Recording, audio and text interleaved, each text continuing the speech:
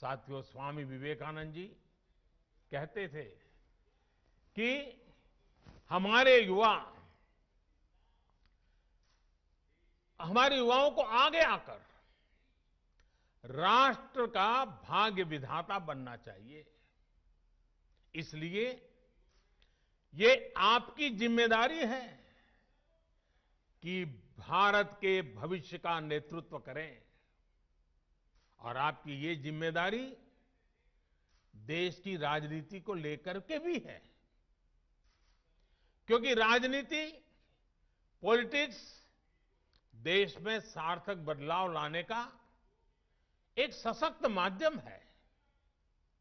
हर क्षेत्र की तरह पॉलिटिक्स को भी युवाओं की बहुत ज़्यादा ज़रूरत है। नई सोच, नई ऊर्जा नए सपने, नया उमंग। देश की राजनीति को इसकी बहुत ज़रूरत है। साथियों, पहले देश में ये धारणा बन गई थी कि अगर कोई युवक राजनीति की तरफ़ रुख करता था तो घर वाले कहते थे कि अब बच्चा बिगड़ रहा है। क्योंकि राजनीति का मतलब ही बन गया था झगड़ा फसाद लूट खसोट भ्रष्टाचार, न जाने क्या क्या लेबल लग गए थे। लोग कहते थे कि सब कुछ बदल सकता है, लेकिन सियासत नहीं बदल सकती। लेकिन आज, आप देखिए, आज देश की जनता, देश के नागरिक इतने जागरूक हुए हैं कि राजनीति में वो ईमानदार लोगों के साथ खड़े होते ईमानदार लोगों को मौका देते हैं। देश की सामान्य जनता, ईमानदार, समर्पित, सेवाभावी, राजनीति में आए हुए लोगों के साथ डट करके खड़ी रहती है। ऑनेस्टी और परफॉर्मेंस आज की राजनीति की पहली अनिवार्य शर्त होती जा रही है। और देश में जो जागरूकता आई है ना, उसने ये दबाव पैदा किया। भ्रष्टाचार जिनकी लिगसी थी, उनका भ्रष्टाचार ही आज उन पर बोझ बन गया है। और ये देश के सामान्य नागरिक की जागरूकता की ताकत है। वो लाख कोशिशों के बाद भी इससे उभर नहीं पा रहे हैं। देश अब ईमानदारों को प्यार दे रहा है, ईमानदारों को आशीर्वाद दे रहा है। उमान, ईमानदारों के साथ अपनी ताकत खड़ी कर देता है, अपना विश्वास दे रहा है। अब जनप्रतिनिधि भी ये समझने लगे हैं कि अगले चुनाव में जाना है तो सीवी स्ट्रांग होनी चाहिए, कामों का हिसाब पुख्ता होना चाहिए।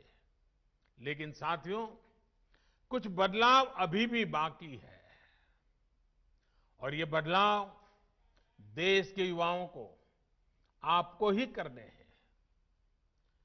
लोकतंत्र का एक सबसे बड़ा दुश्मन पनप रहा है, और वो है राजनीतिक वंशवाद।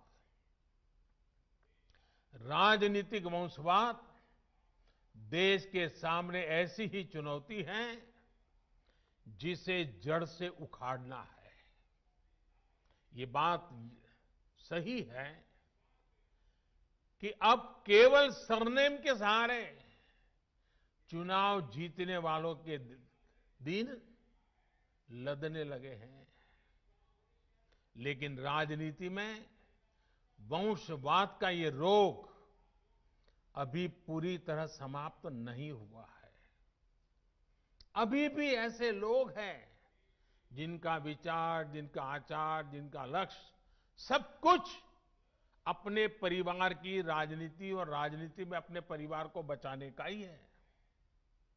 साथियों, ये राजनीतिक वंशवाद लोकतंत्र में एक नए रूप के तानाशाही के साथ ही देश पर अक्षमता का बोझ भी बढ़ा देता है। राजनीतिक वंशवाद नेशन फ़र्स्ट के बजाय सिर्फ़ मैं और मेरा परिवार इसी भावना को मज़बूत करता है। ये भारत में राजनीतिक और सामाजिक करप्शन का भी एक बहुत बड़ा कारण है। वंशवाद की जगह से आगे बढ़े लोगों को लगता है कि अगर उनकी पहले की पीढ़ियों के करप्शन का हिसाब नहीं हुआ तो उनका भी कोई कुछ नहीं बिगाड़ सकता। वो तो अपने घर में ही इस प्रकार के विकृत उदाहरण भी देखते हैं। इसलिए ऐसे लोगों का कानून के प्रति न सम्मान होता है, न कानून का उनको डर भी होता है। साथियों, इस स्थिति को बदलने का जिम्मा देश की जागरूकता पर है, देश की युवा पीढ़ी पे है, और राष्ट्रयाम जागरयाम व्यायाम, इसी मंत्र को लेकर के जीना है। आप राजनीति में ज़्यादा से ज़्यादा संख्या में आए, बढ़ चढ़ करके हिस्सा ले। लेना, पाना, बनने के इरादे से नहीं, कुछ कर गुजरने के इरादे से आइए। आप अपनी सोच अपने विजन को लेकर आगे बढ़े। एक साथ मिलकर के काम करे, जुट करके काम करे, डट करके काम करे। याद रखेगा, जब तक देश का सामान्य युवा राजनीति में नहीं आएगा। वंशवाद का ये जहर, इसी तरह हमारे लोकतंत्र को कमज़ोर करता रहेगा। इस देश के लोकतंत्र को बचाने के लिए आपका राजनीति में आना ज़रूरी है। और ये जो लगातार हमारे युवा विभाग के द्वारा मॉक संसद के कार्यक्रम चलाए जा रहे हैं, देश के विषयों पर युवा मित्र मिलकर के चार चर्चा करें, देश के युवाओं को भारत के सेंट्रल हॉल तक लाया जाए इसके पीछे मकसद भी यही है कि देश की नई युवा पीढ़ी को हम तैयार करें ताकि वो हमारे साथ आने वाले दिनों में देश का नेतृत्व करने के लिए आगे आए, आगे बढ़े। आपके सामने स्वामी विवेकानंद जैसा महान मार्गदर्शक है।